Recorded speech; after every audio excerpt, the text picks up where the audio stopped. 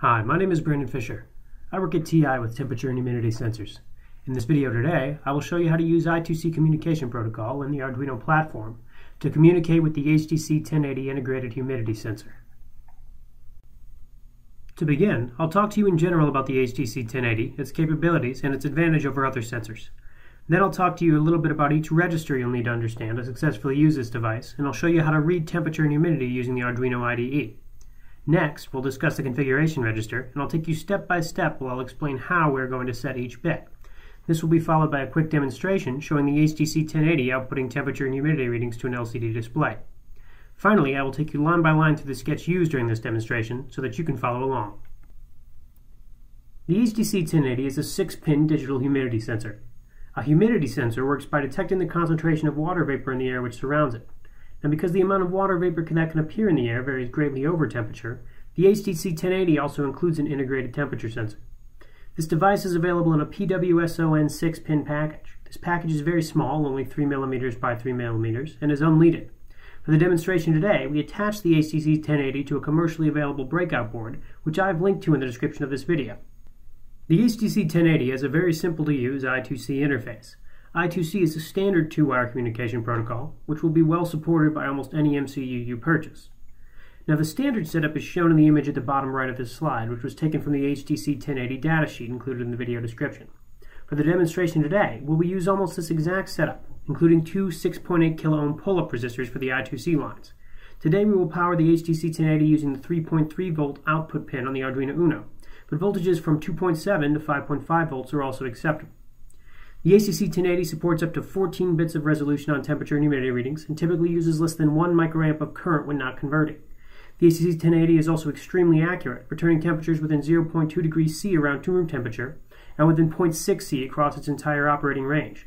Similarly, humidity readings from the HDC1080 are within plus or minus 2% from 20 to 60% humidity and within plus or minus 4% from 0 to 100% relative humidity.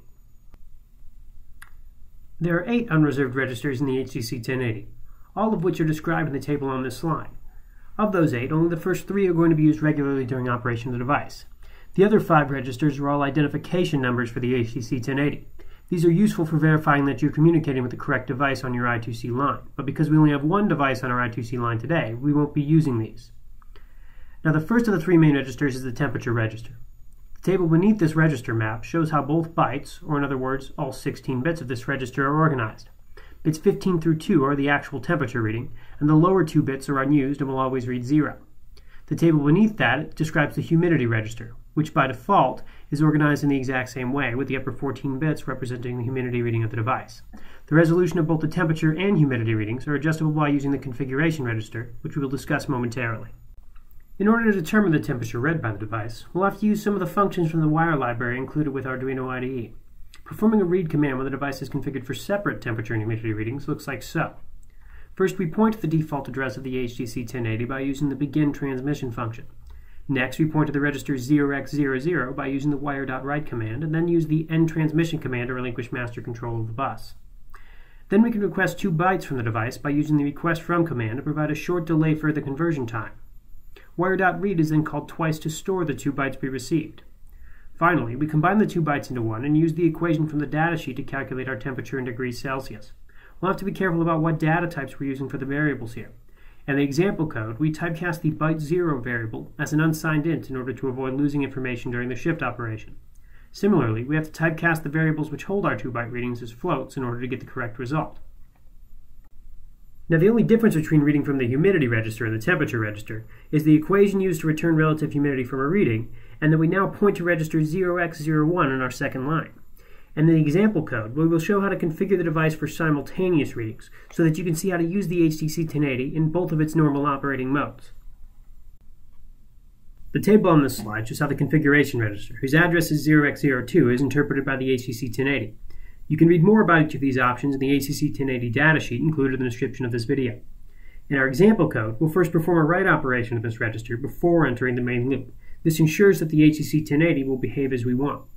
When we do this, we'll set bit 15 to 1 to trigger a startup reset of the device.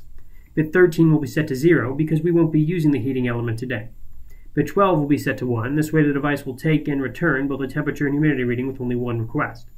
Bit 11 is read-only and reflects the battery voltage of the HDC1080. Today we'll treat it as 0. Bit 10 will also be set to 0 to ensure that our temperature readings are 14 bits, and similarly, bits 9 and 8 will be set to 0 to ensure that our humidity readings are 14 bits. Finally, bit 14 and the lower byte of the configuration register are reserved and must be 0, so we'll leave these as 0. Combining all of these bits together and interpreting them as hex tells us that the value we want to write to the configuration register is hex 9000. I'll show you the code we use to accomplish this write operation later in the video. The video embedded in this slide shows the HDC1080 set up to output local temperature and humidity data to an LCD display. Right now, the 1080 is returning the room temperature of about 24 C or around 75 Fahrenheit, and the humidity reading is around 43%, which is well within the comfortable range of humidity for room temperature. You can see in the center of the screen the HDC1080, which has been soldered to the breadboard I mentioned earlier. You can find this breadboard at the link included in the video description. Inside the setup block of the sketch loaded onto the Arduino, we first initialize I2C communication by using the wire.begin command, and then initialize the LCD display. We next set the cursor to the upper left cell of the display by using the set cursor command, and we print the temperature label, followed by a printing of the relative humidity label in the row below that. Beneath that code, we perform a write operation to the configuration register of the HDC1080. To do this, we first point to 0x40, the device address of the HDC1080, and then we point to register 2 using the wire write command. We then write hex 9000, which is the number we decided on earlier, one byte at a time to register to by again using the write command. Inside the loop block, we call the read sensor command to collect temperature and humidity data from the device. The read sensor function returns the humidity and takes a pointer to the temperature variable. Then we output these temperature humidity readings in the same fashion as we printed the labels. Inside the read sensor function, we begin by declaring some holding variables, including an array of 8-bit unsigned integers to store each byte we plan to read back.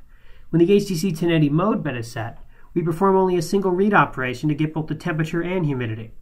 We first point to the temperature register at 0x00 in the same way we point to the configuration register in the setup block. This action triggers the HDC1080 to begin the temperature and humidity conversions. This is followed by a 20 millisecond delay to allow for adequate time for these conversions to occur and then we request the 4 bytes of data that we wanted. Continuing on the right, we store all 4 bytes of data we request in an array we just declared. Once we have these 4 bytes of data, we simply convert them to temperature and humidity by using the same equations we discussed previously, and then return humidity to end the function. This concludes our demonstration on using the HDC1080 with the Arduino platform. You'll find a link to this example code in the description of the video. Thank you for watching, and if you want to learn more about I2C communication, be sure to check out our video on using the TMP102 integrated temperature sensor, and keep an eye out for future videos on how to utilize the TI sensor library with Arduino.